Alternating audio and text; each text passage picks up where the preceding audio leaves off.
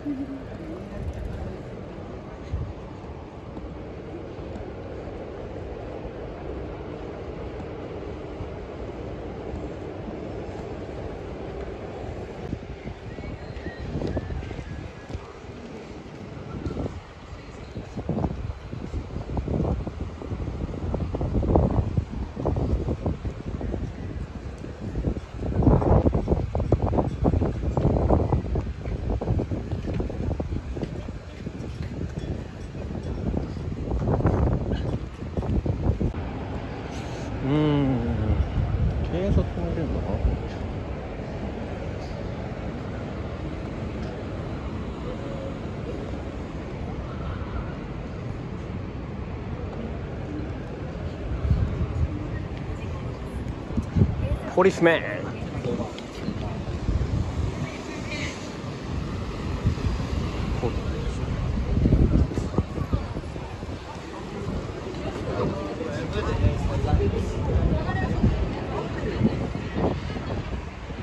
はいちょっと動画撮ってたんですけどまたねちょっと男の人に注意されそうになってちょっとマジで雰囲気的にヤバそうだったんで一回ちょっと歌舞伎町の方まで逃げてきました。ちょマジでヤバい。なんかもう YouTuber もう動画撮ってる人に対してもうみんな男も女もみんな警戒心がすごくてもうカメラがねスッて向けるともうみんなもう顔隠して逃げてくみたいな感じで結構ねマジでヤバそうですねあそこは。こんなにね止められたりしたのも初めてだしで警察もね全然もうパトロールとかもしてなかったんで多分本当にもうね無法地帯みたいな感じになってるんだろうと思います。ちょっともうちょっと撮影したかったんですけどさすがにちょっとね怪しそうなんでこの辺で終わろうと思います。でカメラ街で普通にね何もせずただ歩いてたら白人のねロシア系なんかめっちゃ肌白い綺麗なね金髪の外国人の人にねなんか急に話しかけられてお兄さん今日は寒いねみたいな感じで急に話しかけられてあー寒いっすねっつって返事したらなんかあの急にね肩触ってきて今日はどっか行きたいなとか言ってでああそうっすかって言って話し続けてたらだんだんこう手がねなんか乳首となんかチンポ触ってきてなんかスリスリし始めてなんかうんどっか行きたいなみたいなめっちゃ言ってきてで多分立ちんぼとかああいう売春って向こうからねなんかホテル行こうとか何万でどうとか言うと多分犯罪になるから向こうからはそういうこと言ってこないんですけど、まあ、もう明らかに顔近づけてなんかチンポ触ってきてでなんかそういうなんか誘惑をねしてきてでなんか、うん、どっか行きます？って聞いたらなんかその女の人がこうやってピッて指ピッてやってきてピッてなんか「んこれ何ですか?」って言ったら「んどっか行きたいな。ピッてまたやってきてあ個別3かなと思って。で俺が3はちょっとねさすがにきついから